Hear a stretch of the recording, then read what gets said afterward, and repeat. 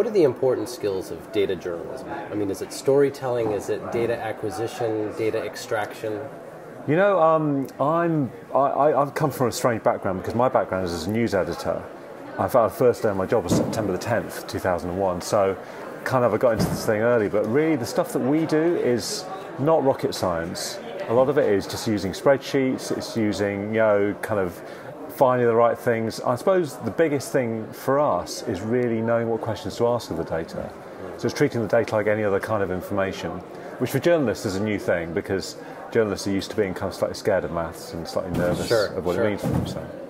so, in regards to how the stories come together, do sure. they start with access to a database or do you have the story idea and then you seek a database that sort of meshes with that story? Um, it really varies. I would say um, recently, because of the way the world's going and we're suddenly getting access to these enormous data sets, that um, we've done it from that way around. That we've had, for instance, size WikiLeaks, which I'm going to talk about tomorrow, um, we've had these enormous kind of spending databases released in the UK, like every item of public spending over £25,000, which uh, you know, that's 160,000 items, which normally in the old days what would have happened is a set of reporters was sat in a darkened room just gone through it line by line.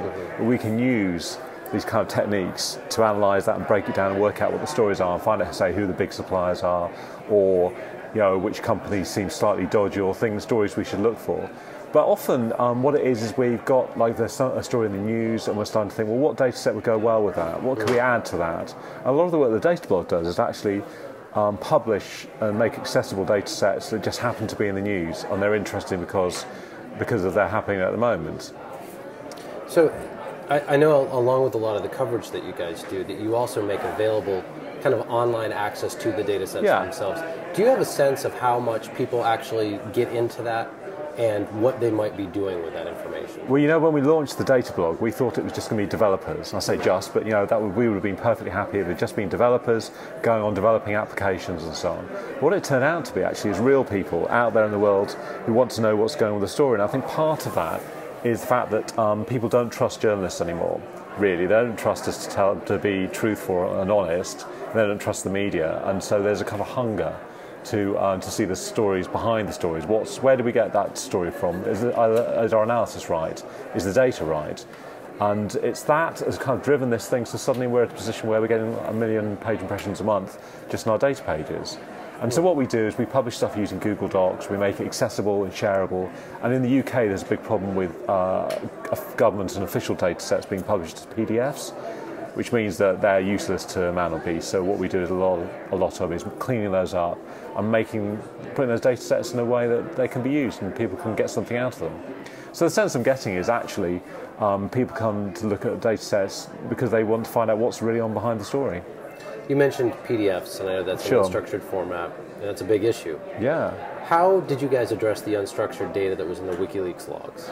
Well, it really depends which, which WikiLeaks release you're talking about. There are, there are three WikiLeaks releases. The one and two, Afghanistan and Iraq, were very, very structured, actually. We got a, a CSV sheet, um, which is, kidding. yeah, it was basically the, um, the SIGACT, which counts, stands for Significant Actions, the SIGACT database.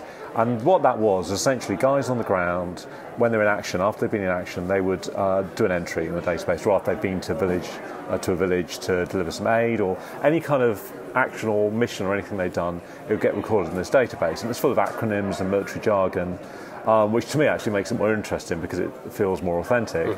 Um, but there's very, very detailed data in there. There's uh, latitude and longitude of every incident, as well as on the military coordinate system, which is called MGRS. There's a kind of a summary, which is a bit in plain English that gives you the sense of what happened.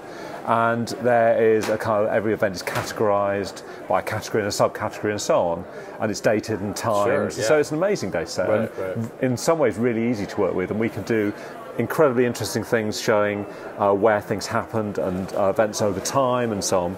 Uh, with the cables, it was a different kind of kettle of fish, as say in, in England. It was um, it was just a massive text file, uh, very very variable kind of uh, quality. It wasn't like we could just look for one thing and think, oh, that's the end of one entry and the beginning of the next, Sure. or that's the end of one column, beginning of the next. So uh, we had a few guys working on this for a long time, for two or three months, almost, just um, trying to get it into a state where we could have it in a database.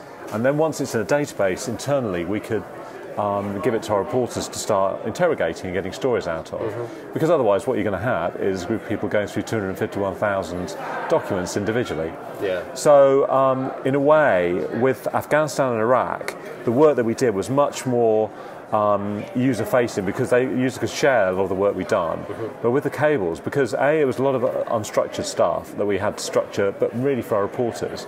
And secondly, because we had uh, agreed not to publish the full set of cables for obvious kind of security reasons. There was stuff that was redacted. We published about 700 or so. We will have published about seven or 800 cables by the end of this this period. Maybe a few more, but there's 251,000. Yeah. So yeah, we have to make those selections. Mm-hmm. And you know, people talk about the um, the internet killing journalism, but actually, in our case, this is worked the other way around because what we've done is combined kind of you know specialist journalists who have incredible knowledge of the story hmm. with the technology that enables them to access their stories.